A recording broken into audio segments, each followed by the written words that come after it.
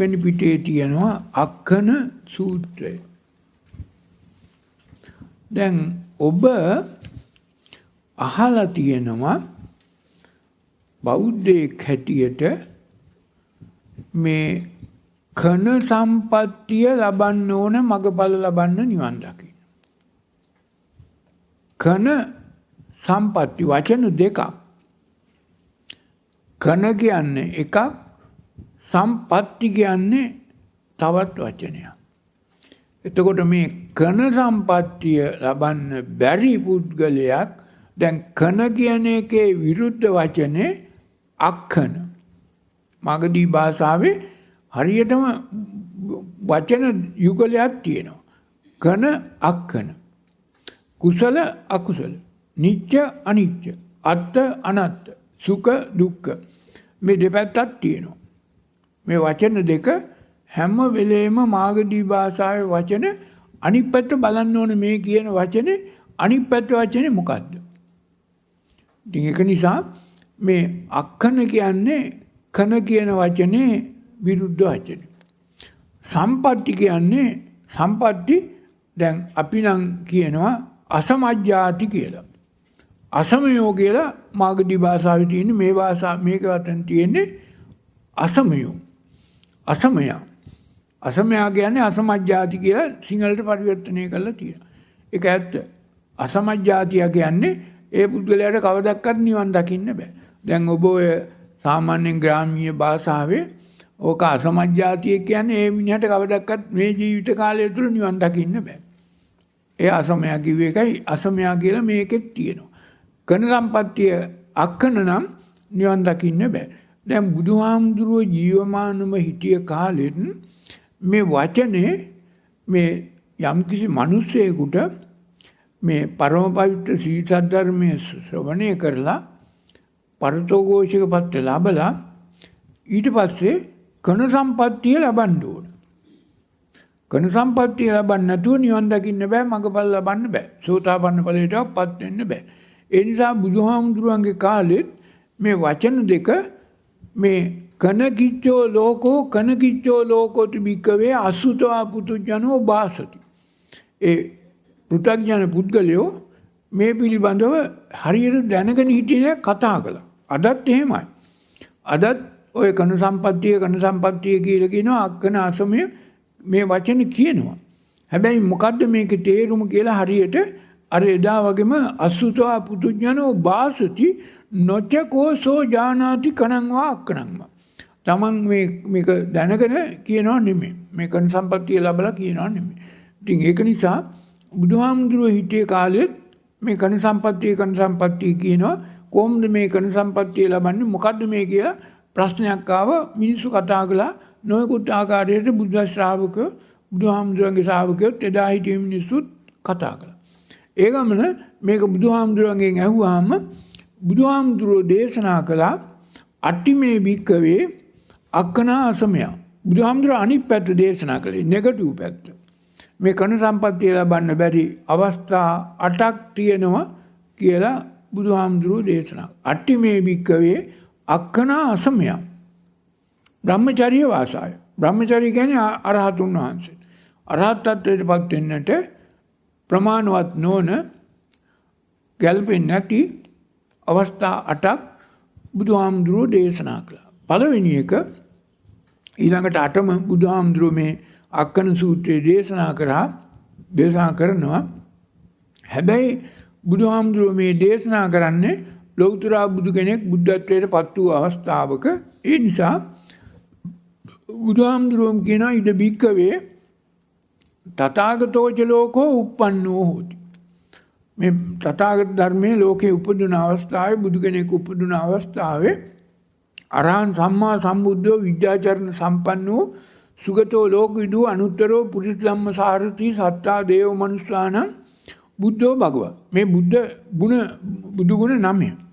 මේ බුදු ගුණ නමේ තියෙන පුද්ගලයෙක් මේ බුදු බුද්ධත්වයට පත් වූ අවස්ථාවේදී බුද්ධෝ භගවා ධම්මෝච දේශීයති මේ ධර්මයේ දේශනා කරනවා. කොහොමද? ඕපසමිකෝ. සම්‍යක් ප්‍රයෝග උපමා සම්‍යක් ප්‍රයෝග සහිතව දේශනා කරනවා පරිනිබ්බානිකෝ. පූර්ණ වශයෙන්ම මේ බැමි තුනෙන් මිදී නිදහස්ව රාග බැම්ම දේශ බැම්ම මෝහ බැම්ම බැමි තුනෙන් මිදී නිදහසන මාර්ගයේ පාර කියා දෙනවා සම්බෝධගාමි. බව උදුරා දමන මාර්ගය කියා දෙනවා සම්දේ නිරෝධගාමී මාර්ගය තමා සම්බෝධගාමී. සුගසප්ප වේදිතෝ ඒ පුද්ගලයාට සුගතියට යන පාර පිළිවෙත කියා දෙනවා. මග විවෘත කරලා දෙනවා. එහෙම කාලෙක අයංච පුද්ගලෝ නිරයන් uppannෝ හෝති.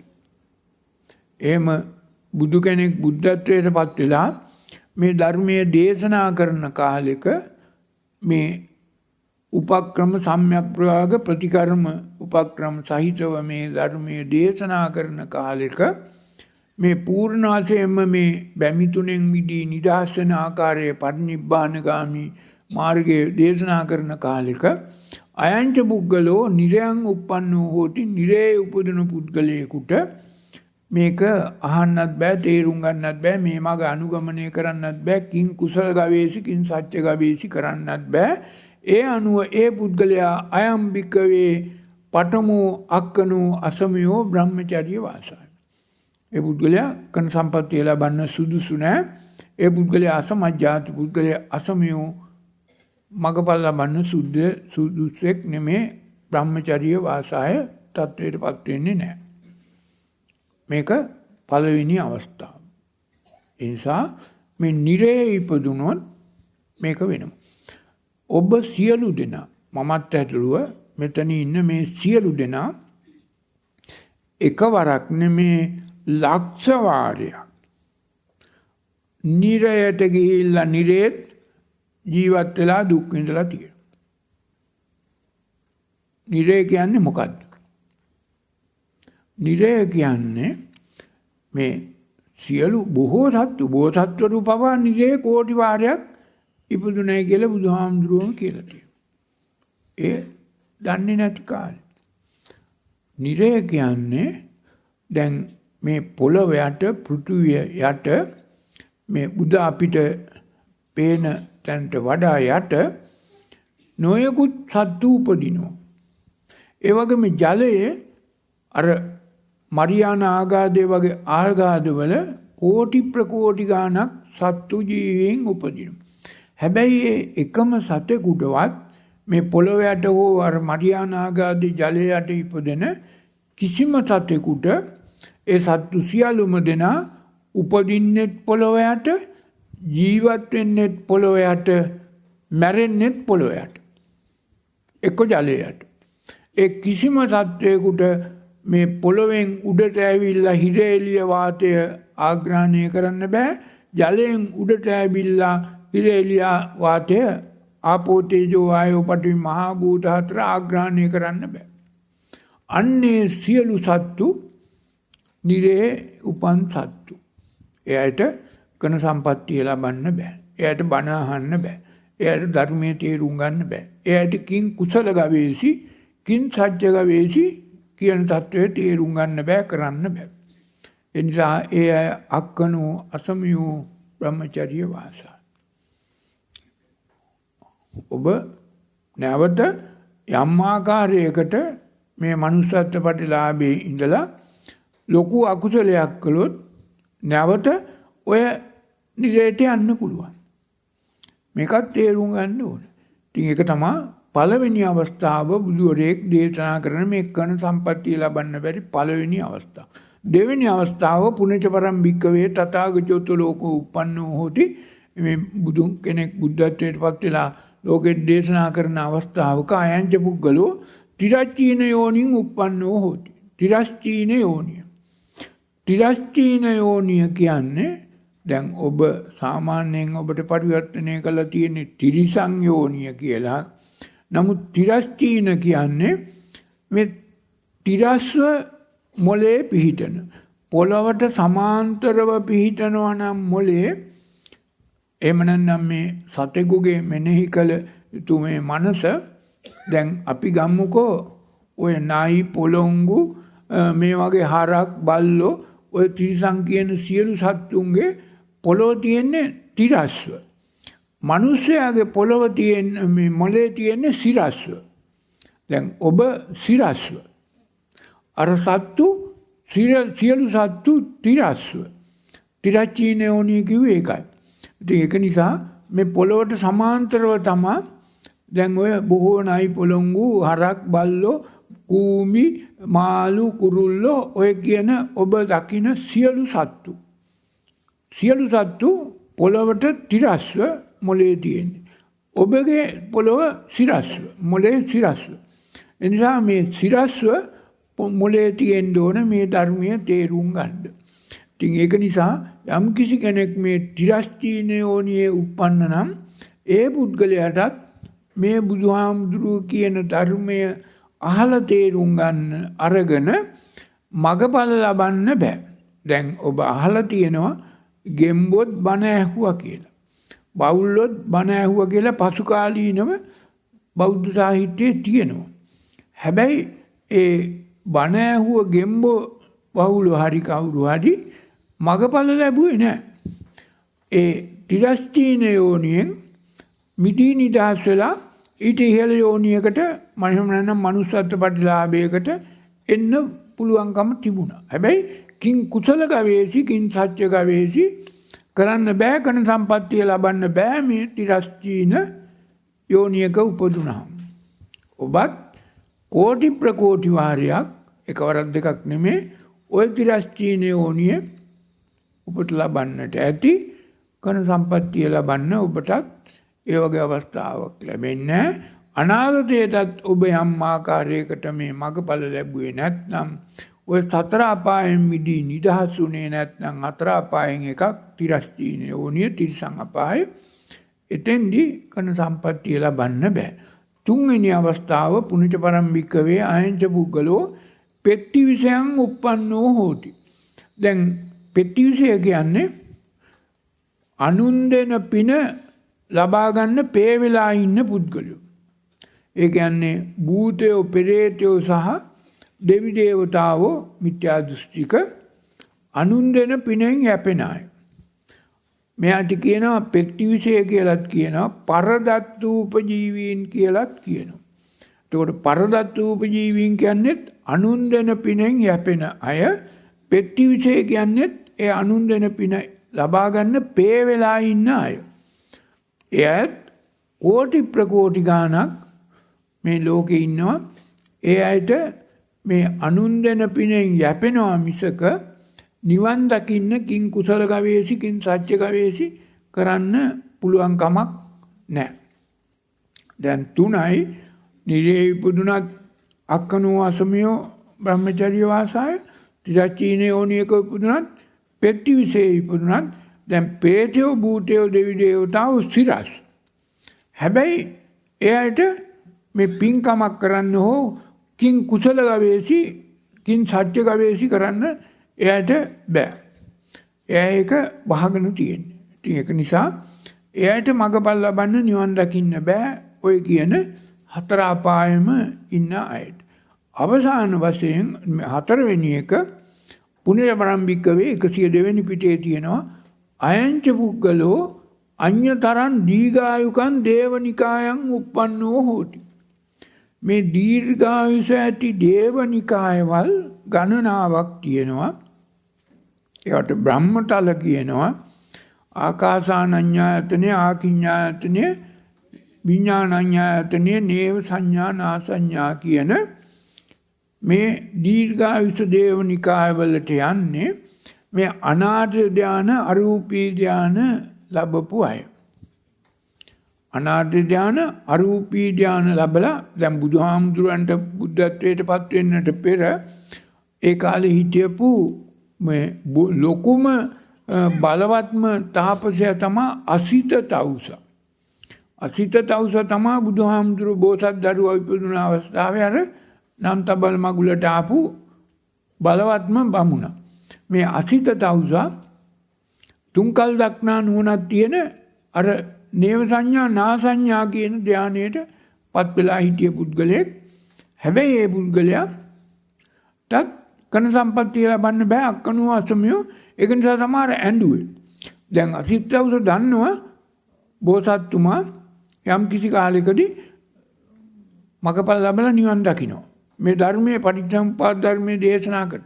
හැබැයි අසිතවුස දැක්කා බුදුහාමුදුරුවෝ බුද්ධත්වයට පත් වෙන්නේ තව අවුරුදු 35කට පස්සේ තමන් ඒ වෙන විට මේ ආයුෂ ඉවර වෙලා ආයුක්කේ මරණයකින් මරණයට පත් වෙලා අර අසඤ්ඤ තලයක අර දීඝායුක දේවනිකායක ඉපදින්නේ. ඒක නිසා ඇඬුවා. බුදුබවට පත් වෙනවා දැකලා hina වුණා. ඊට පස්සේ තමන් ඒ වන විට බෝසත්තුමා තාම බුද්ධත්වයට පත් වෙලා නැහැ.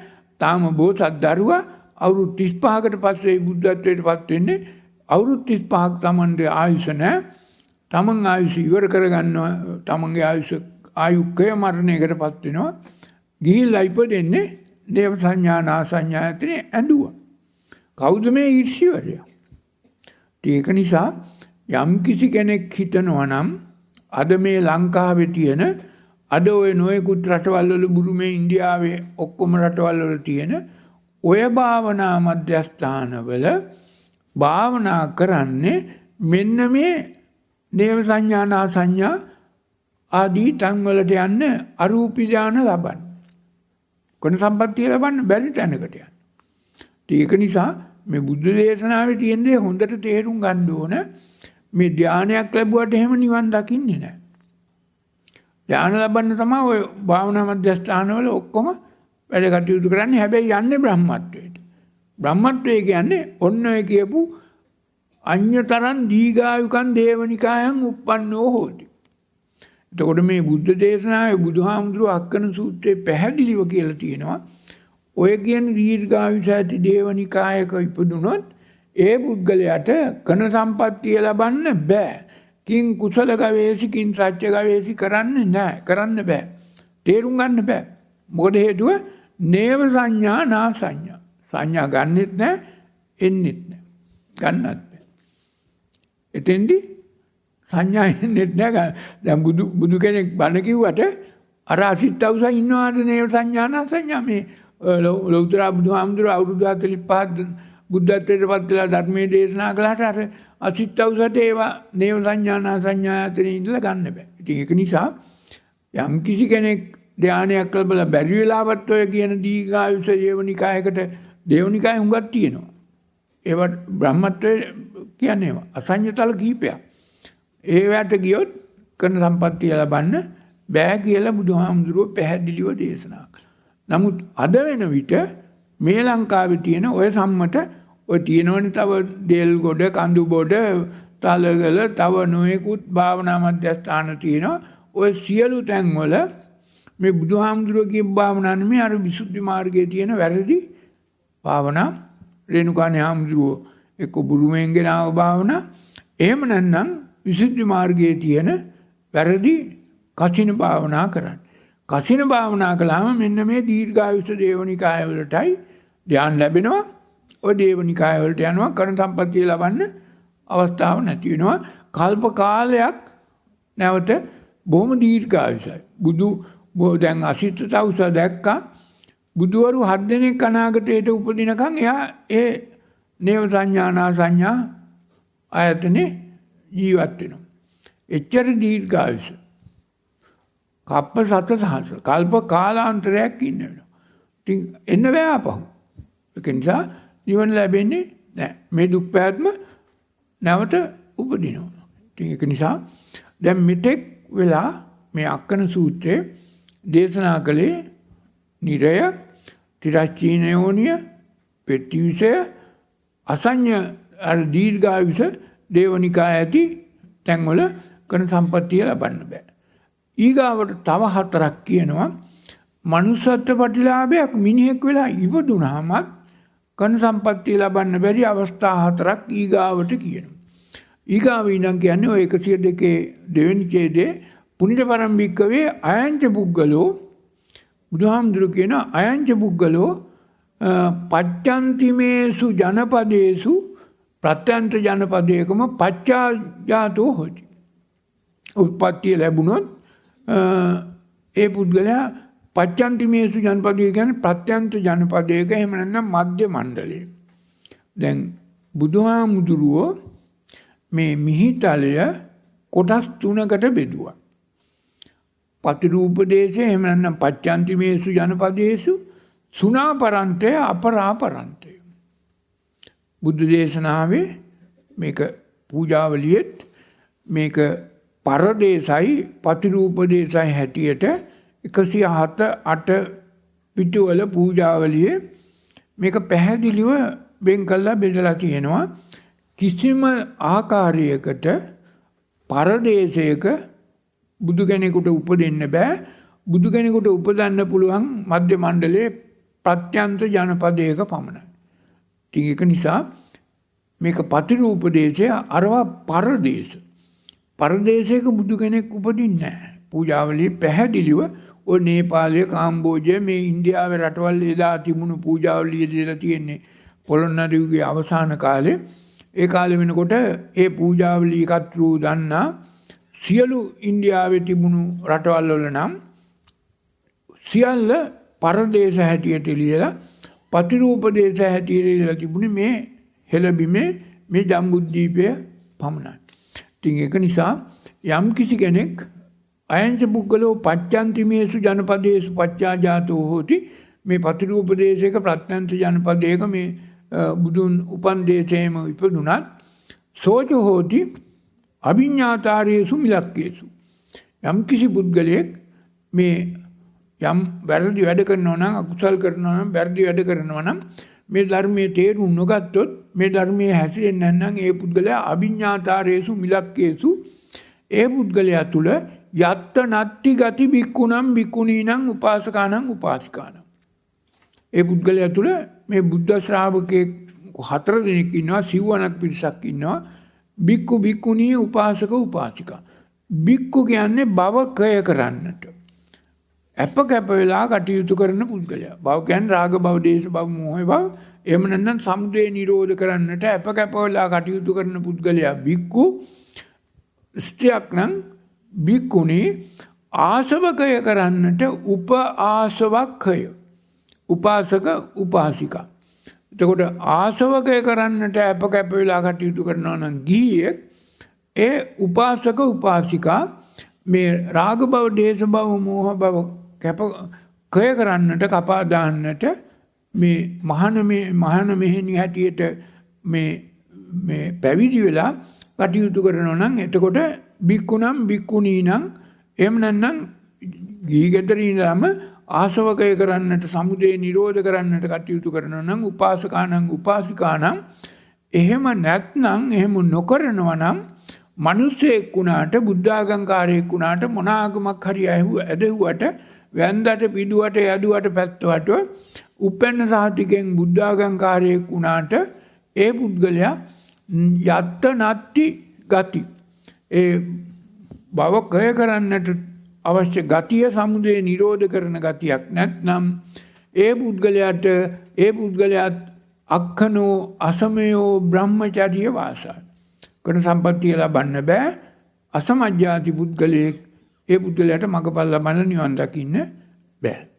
මිනිසෙක් හැටියට ඉපදුනාට ම පත්‍යන්ත ජනපදයේ ඉපදුනත් මධ්‍ය මණ්ඩලයේ ඉපදුනත් මේක සිද්ධ වෙන්න නම් මේ රාග භව දේශ භව මෝහ භව කය කර යුතුයි කළ කළ හැකි සමුදය නිරෝධ කළ යුතුයි කළ හැකි කියන මේ ගතිය යත්ත නත්ති ගති නැත්නම් ඒ ගතිය ඒ පුද්ගලයා අවිඤ්ඤාතාරයේසු මිලක්කේසු ඒ පුද්ගලයාට මගපල් ලබන්න බෑ කන සම්පත්තිය ලබන්න බෑ කියලා බුදුහාමුදුරුවෝ කිව්වා.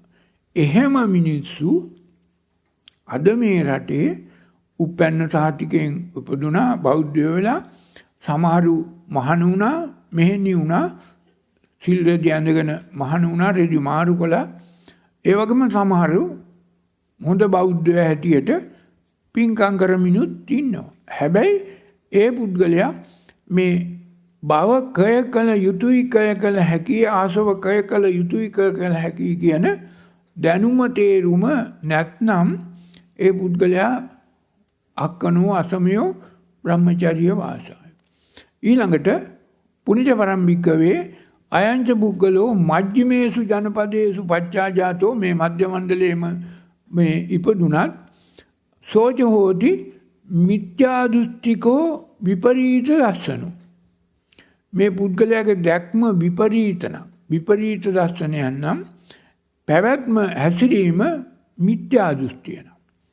තින් ඒක නිසා මිත්‍යා දෘෂ්ටික නම් විපරීත දස්සන නම් ඒ පුද්ගලයාටත් මගඵල ලබන්න බෑ ඒ පුද්ගලයා දැන් මේ මිත්‍යා දෘෂ්ටික පුද්ගලයා බුදුහාමුදුරුව විග්‍රහ කරනවා.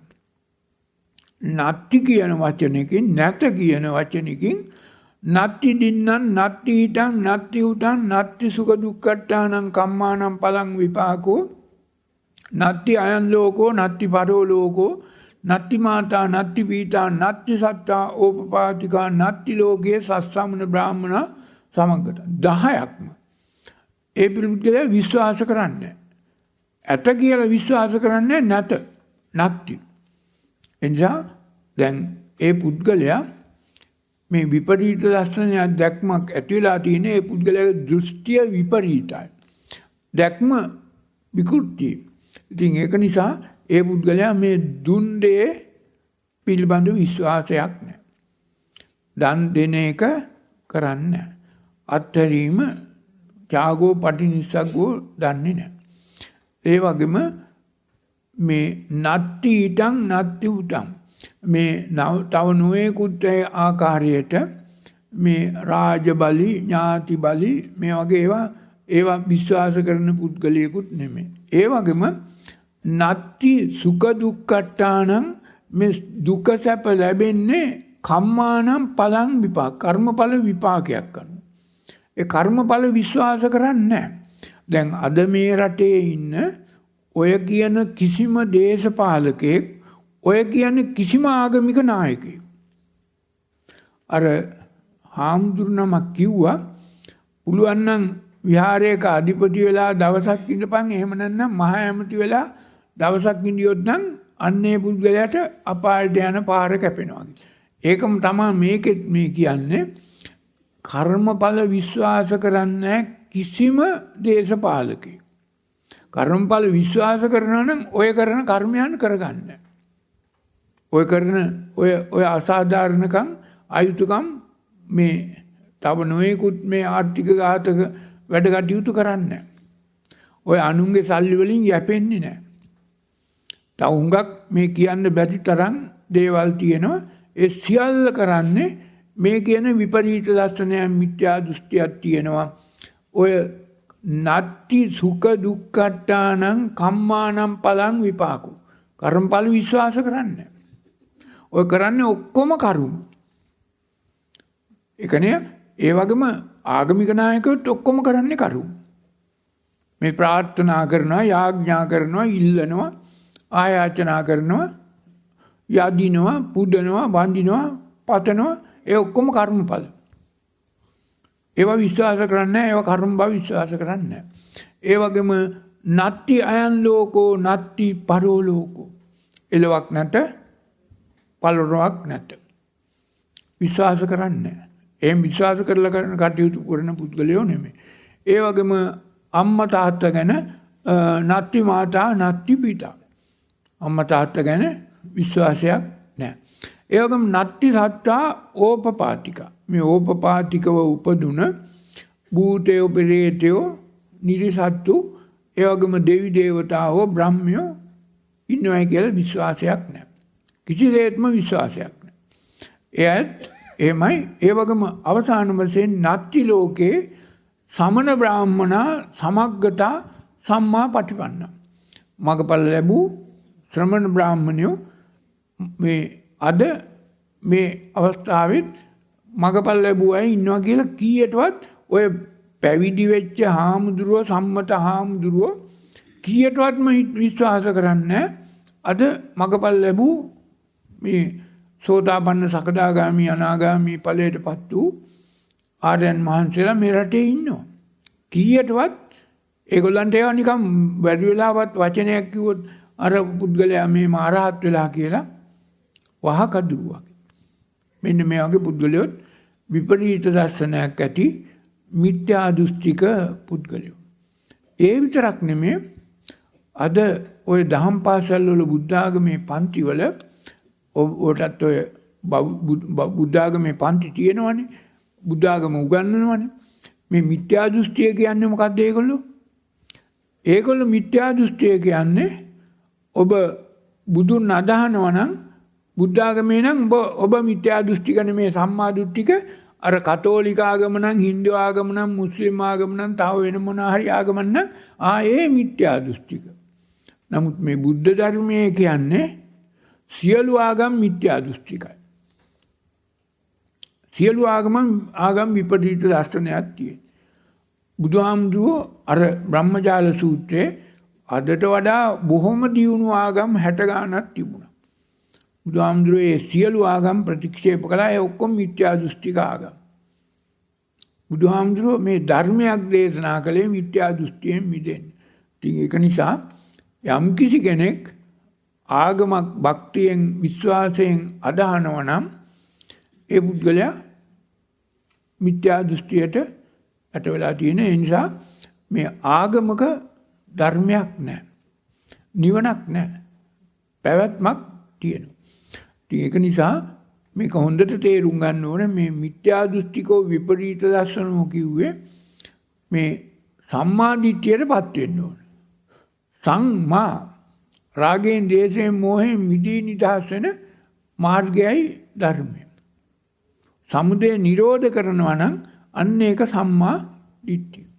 ඉතින් ඒක එහෙම බුදුහාමුදුරුවෝ දේශනා කළා. එහෙම සම්මා දිට්ඨියටපත් නූපු කෙනෙක් නම් මිත්‍යා දෘෂ්ටිකව විපරීත දර්ශන ඒ පුද්ගලයාට කරන සම්පත්තිය ලබන්න බෑ. අක්කනෝ අසමියෝ කියලා කිව්වා. අවසාන වශයෙන් බුදුහාමුදුරුවෝ කියනවා නෑ තව එකක් තියෙනවා.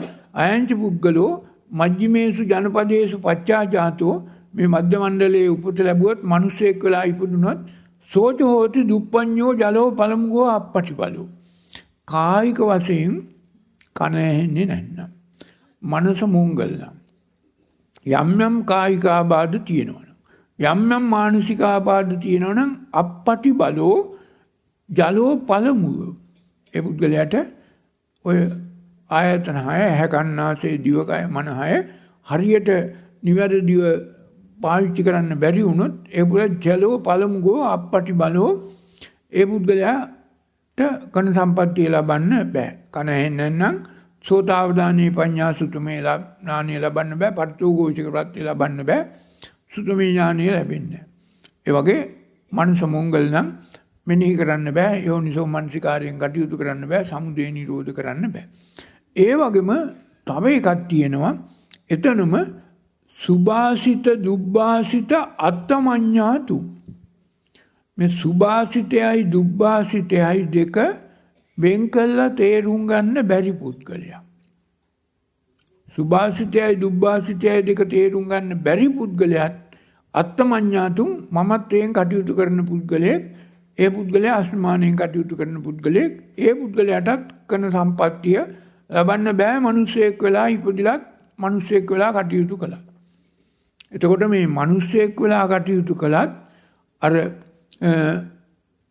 බික්කු බික්කුණී උපාසක උපාසිකා ගති නැත්නම් ඒ පුද්ගලයා අඤ්ඤා අවිඤ්ඤාතාරයේසු මිලක්කේසු ඒ පුද්ගලයාට කරන සම්පත්තිය නැහැ මිත්‍යා දෘෂ්ටිකෝ විපරීත දර්ශනෝ නම් ඒ පුද්ගලයාටත් කරන සම්පත්තිය නැහැ ඒ වගේම ජලෝ පළමුගෝ අපපටි බලෝ ලුභාසිත දුබ්බාසිත අත්මඤ්ඤාතුන් නම් ඒ පුද්ගලයාටත් මගපල් ලබන්න කරන සම්පත්තිය ලබන්න බෑ. අක්කනෝ අසමියෝ.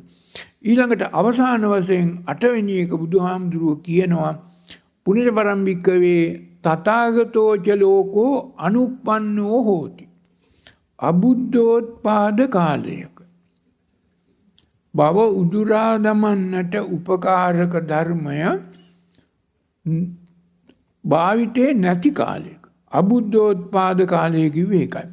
දැන් කාශ්‍යප බුදුහාමුදුරුව බුද්ධත්වයට පත් වෙලා යම් කිසි දවසක මේ ධර්මය අහෝසි වුණා.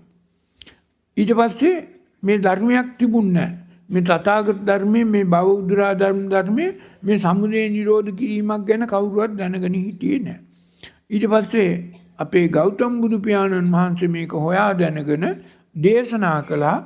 දේශනා කළාට පස්සේ මේක අවුරුදු බුදුහාමුදුරුවෝ පිරිනිවන් පාලා අවුරුදු 900 ගණනකට පස්සේ නැවත මේ තථාගත ධර්මය විකෘති කළා වෙනස් කළා විසුද්ධි මාර්ගය වගේ අටුවා ටීකා ලිව්වා.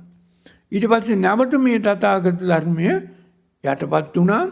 නැවත මේ තථාගත ධර්මය එහෙම නැත්නම් මේ සමුදය නිරෝධ කිරීමේ මාර්ගය නැවත මතු කරන තාක්කල් අබුද්ධෝත්පාද කාලය.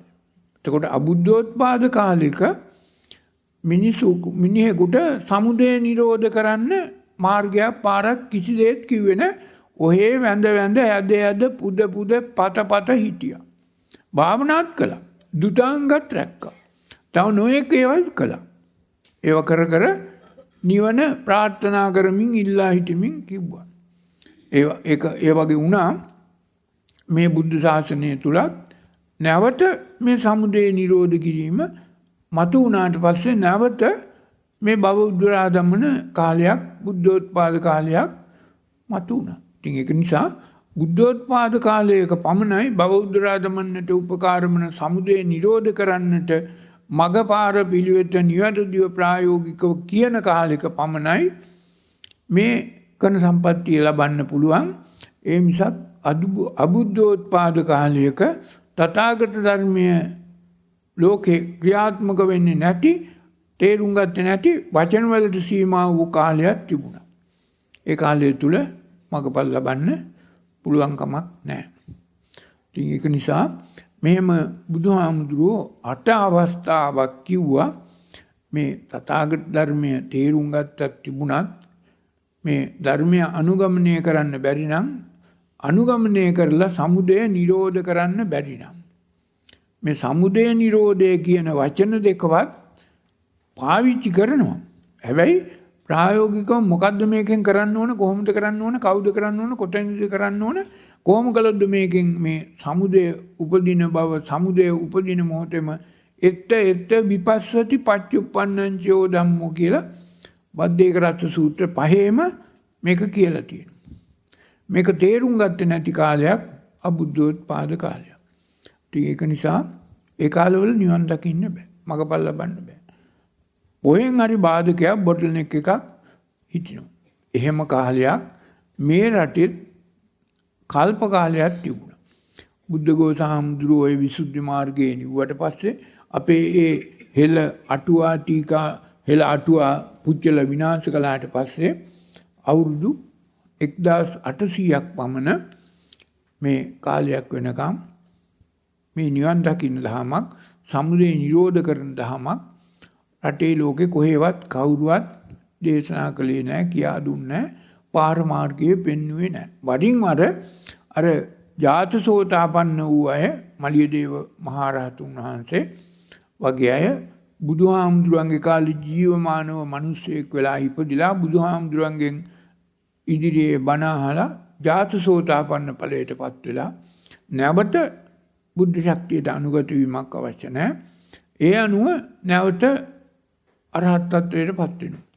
ඒ වගේ අය තමයි දැන් මේ බුද්ධ කල්පයේ තුල කන සම්පත්තිය ලැබලා මඟපල් ලැබලා අනික් අයටත් ධර්මයේ දේශනා.